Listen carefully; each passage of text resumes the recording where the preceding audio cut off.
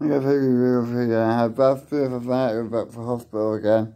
The ankle's not broken, not bruised. It's bruised, but it's sprained as well. I got twisted again.